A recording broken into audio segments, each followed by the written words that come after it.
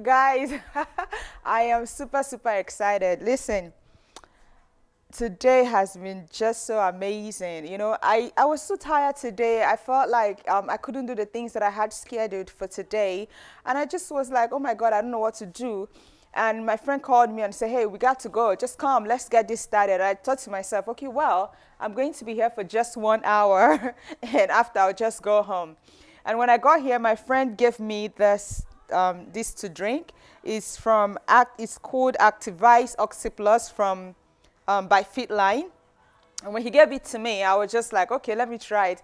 And when I tried it, guys, after a few minutes, I felt so much energy.